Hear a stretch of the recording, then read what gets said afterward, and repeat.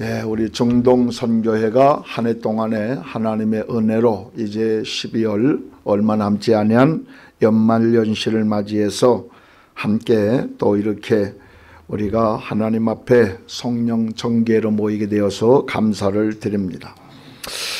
예, 오늘 본문에 보면 누구든지라 그랬어요. 누구든지 그랬습니다. 높은 사람이나 낮은 사람이나 악한 사람이나 선한 사람이나 착한 사람이나 예, 모든 사람들을 불문하고 그리스도 안에 있으면 그랬어요. 그리스도 안에 있으면 새로운 피조물이라 그랬습니다.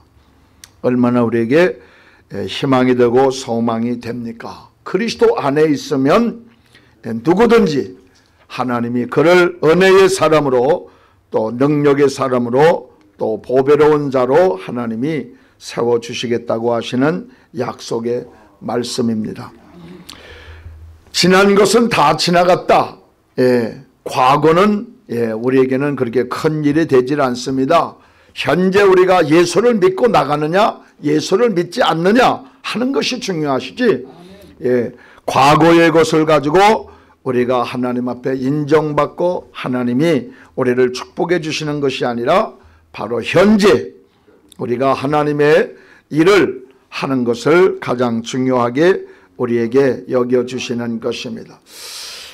그리스도 안에 있다고 하는 말씀은 예수의 피는 예, 보니까 요한계시록 7장 14절에 어린 양의 피라 그랬습니다. 어린 양의 피라. 베드로전서 1장 19절에 보면 보배로운 피라 그랬어요. 이 어린 양의 피가 보배로운 피가 바로 우리에게는 죄 사함에 반드시 필요한 요소가 되어지는 것입니다. 예수 그리스도의 보혈의 피는 우리의 모든 죄를 예, 정케하고 깨끗하게 하는 것입니다. 영생을 얻는데 아주 필연적입니다.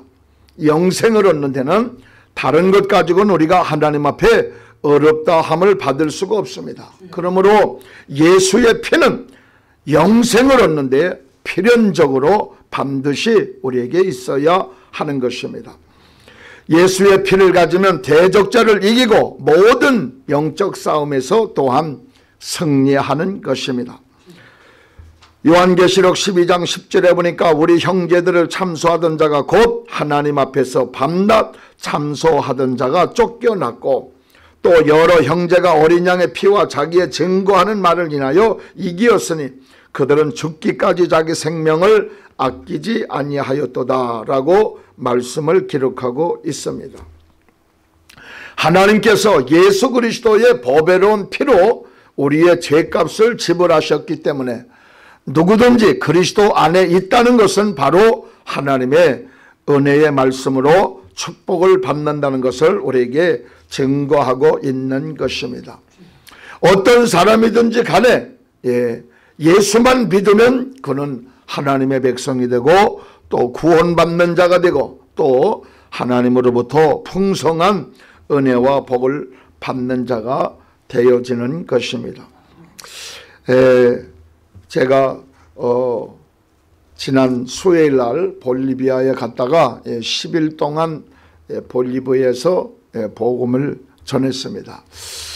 그 볼리비아하고 그다음에 브라질하고 경계 아마존이라고 하는 예, 경계까지 들어가서 그 아마존 현지인들에게도 예, 복음을 예, 전했습니다.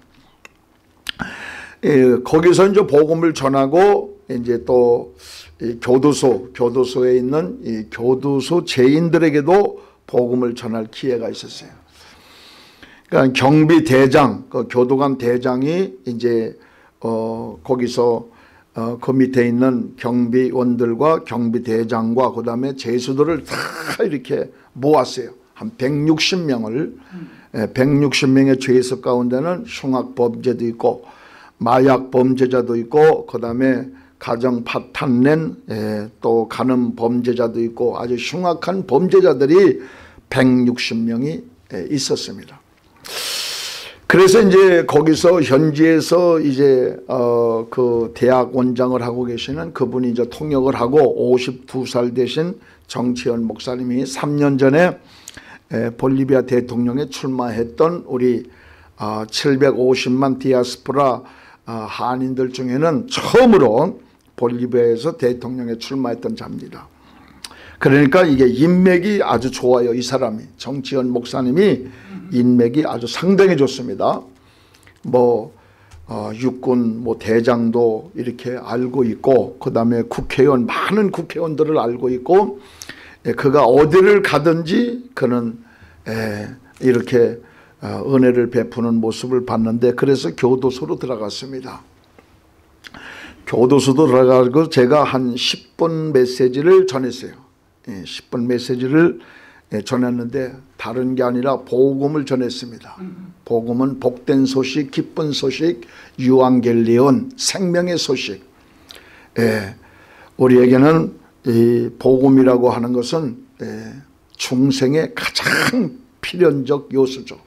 예, 그들은 행함으로 또 착한 일을 의를 행함으로 구원받는다고 하는 것이 400년 동안 스페인의 지배를 받으면서 의로 노력으로 행함으로 구원받는다는 것이 그들의 지배적인 구원관입니다. 그래서 예, 복음을 전했습니다. 예수 그리스도의 복음. 예, 복음이 아니면 절대로 인생은 중생할 수 없다. 예, 거듭날 수 없다. 변화될 수 없다. 이제 복음을 전하고 예수 믿고 구원받고 하나님의 백성 되기를 원하시는 분은 손을 드세요. 그랬어요 제가. 예, 그러면 제가 여러분들을 위해서 영접 기도를 해드리고 축복 기도를 해드리겠습니다. 음, 그랬더니 160명을 비롯하여 경비, 경비대장까지 경비대장은 거기서 높은 지에 있는 사람입니다. 손을 처음 붙드는 거예요. 손을 처음 붙들고 예수를 영접했습니다. 아멘. 하나님 나는 죄인입니다. 이 시간 내가 예수님을 나의 마음속에 나의 구원자로 영접합니다. 나의 죄를 예수의 피로 씻어주시고 내가 비록 범죄해서 교도소에 들어왔지만 나의 모든 죄악을 용서해 주시고 이제는 자기 부모에게 효도하는 어머니 아버지에게 효도하는 또 자식이 되게 하시고 또 형제들에게 서로 사랑하며 은혜를 나누어주는 형제가 되게 하옵소서 그러니까 160명이 다 네, 한 사람도 빠짐없이 예수를 영접했습니다. 얼마나 감격스러운 일입니까? 그 제사들이요 저를 향하여서 손을 이렇게 들고 당신이 최고다. 응? 많은 사람들이 와서 거기 교도소에 와서 빵도 나눠주고 좋은 것도 나누어 줬지만 그들에게 정령 예수 그리스도를 믿고 영원토록 영생을 얻는 길, 이 복된 길을 예, 이렇게 제시하고 알려주기는 아마 예, 처음이 아닌가 그렇게 봅니다. 그 흉악 범죄들이 뒤에서도 손을 들고 당신이 최고다. 너무너무 고맙다. 음, 그렇게 160명의 한 사람도 예, 제가 우리 김종환 목사님에게 그 예수를 영접하는 두 손을 들고 예, 예수를 믿겠다고 결심한 그 예, 동영상을 보내드렸습니다. 지금도 제가 그걸 보면서 예, 흉악 범죄자입니다. 버림받은 사람들입니다. 가정으로부터 사랑하는 부모로부터 형제들로부터 흉악한 범죄자라고 그들은 낙인이 찍혀서 더 이상 사람의 도리로 생활할 수 없는 사람들이었지만 예수를 믿고 영접함으로 인하여 하나님이 그들의 생애를 다시 예, 축복의 생애로 변화시켜 주실 것입니다. 얼마나 놀라운 일입니까? 예, 설교를 한 일곱 번 했습니다. 어느 날은 두 번도 하고 일곱 번 설교를 하는데 예, 많은 사람들이 예, 그 간단하게 말씀을 드리자면 볼리비아는 한 3,500불 GMP가 인구는 1,200만 땅은 우리 남북한의 한 4배 어, 남한의 한 7배 8배 됩니다. 땅은 어마어마하게 넓고 자원도 풍부한 나라예요. 음. 그런데 정치가 잘못돼서 예. 에버 대통령이 먼저 그 전임 에버 대통령이 1차, 2차, 5년, 5년, 10년을 했습니다. 이제 3차는 못 나와요. 그런데 법을 바꿔가지고 3차에 또 나왔어요. 그런데 그때 바로 우리 한국 사람 정치현 목사님이 그때 출마했습니다. 지금으로부터 2년 전이죠. 에바가 나올 수 없어요. 전직 대통령은 이제 1, 2차 했기 때문에 10년 했기 때문에 나오지 못하는데 3차에 나와서 그만 부정을 하다가 부정이 탈로가 났어요. 그래가지고 에, 그 에버 전직 대통령이 중앙은행에 있는 돈을 아주 한뭐 한 50박스를 돈을 그냥 싣고 가고 달러 한 10박스 100불짜리 그걸 가지고 부정이 탄로나자 비행기를 타고 멕시코로 떠났어요. 멕시코로 갔다가 다시 지금 또 칠레로 들어갔습니다. 예. 그리고 예, 부정선거가 탄로났기 때문에 음, 다시 대통령을 예, 다시 또 이렇게 뽑았습니다. 뽑았는데 우리 정치현 목사님이 예, 세 분이 나왔는데 예, 여당 지도자, 야당 지도자 그리고 목사님은 이분이 나왔는데 볼리비아 나라에 있는 전 목사님들은 우리 한국 정치현 목사님을 예, 이렇게 지원을 해줬고 많은 크리찬들이 지원을 해줬습니다. 그런데 예, 결국에는 예, 우리 정치현 목사님이 대통령이 안 됐습니다. 안 됐지만 예, 제가 마지막 날 마지막 날 정치현 대통령 지지자 모임을 하는데 한 지도자들이 한 20명 모였더라고요. 저도 거기 갔었는데 제가 아주 강력하게 예, 말씀을 드렸습니다. 이 정치현 목사가 지도자가 되고 볼리비아 대통령이 되면 우리 대한민국에서 삼성이나 현대나 또 각 기업에서 아마 우리 정치현 목사님을 위해서 여기에 엄청난 예, 비즈니스가 들어올 거다. 음. 그리고 이분은 하나님을 믿는 사람이고 정직한 대통령이고 예, 정직한 지도자가 되기 때문에 이분을 밀어라. 이분을 내가 저 마지막으로 예, 저도 거기서 말씀을 드렸습니다. 거기에는 국회의원들이 한 일곱 명 왔고 그 다음에 어, 에버 대통령 시절에 어, 경찰국장 했던 아주 그냥 높은 직위에 있는 사람들이 이렇게 쭉 있었어요. 그래서 아, 2년 후에 아마 대통령 선거를 하면 예, 우리 52살 된 정치원 목사님 아버지 선교사가 11살 때 따라가서 11살 때 그 40년 전 43년 전에요 그 볼리비아가 어느 땅인지도 모르고 그게 동쪽에 있는지 서쪽에 있는지 남미에 있는지 예? 그게 중동 땅에 있는지 아프리카에 있는지 볼리비아라고 하는 나라가 동서남북 어디에 있는 것도 모르고 감각도 모른 채 그저 그냥 그 볼리비아 나라를 가지고 예, 목표를 가지고 왔는데 제가 생각할 땐 그렇습니다. 750만 우리 대한민국 디아스프라가 130년 전서부터 세계를 향하여 나갔는데 이 사람만큼 선교의 업적을 남긴 사람이 없어요. 예, 이 사람만큼 예, 학교가 30개입니다. 거기 뭐 대학교가 아주 어, 그 볼리비아에서 three 안에 들어갑니다. 세 번째 대학 안에 들어가요. 명문대학에 명문대학. 음. 대학도. 그걸 다 그분이 세웠어요. 고등학교, 고등학교가 뭐 엄청 많아요. 고등학교도. 교회만 한, 한 60개 세웠어요. 교회만. 한 600석 되는 교회만. 어마어마해요. 그러니까 2009년도에 이 정도면 노벨 평화상을 받을 수 있다 해가지고 노벨 평화상을 받을 수 있도록 그 몇몇 분이 그분을 이렇게 노벨 평화위원회에 올렸는데 예, 50명 중에 10명까지 들어갔어요. 이 선교사님이 정은실 선교사님이 지금은 86세입니다. 그분이.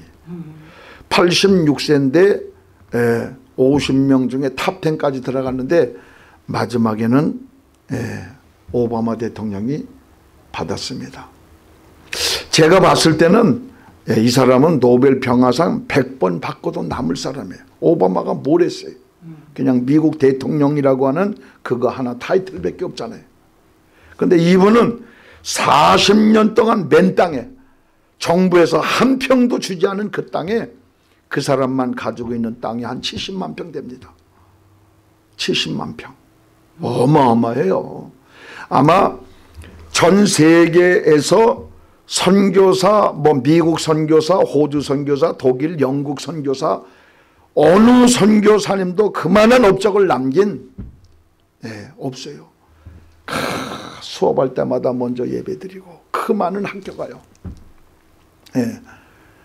그 대학교도 졸업하는 거 가봤는데 거기 신학교도 있고 의대도 있고 치대도 있고 다 있더라고요. 법대도 있고 행정학과도 있고. 음. 저는 거기서 예, 여러 가지를 예, 보았습니다. 참 예, 적막한 땅이에요.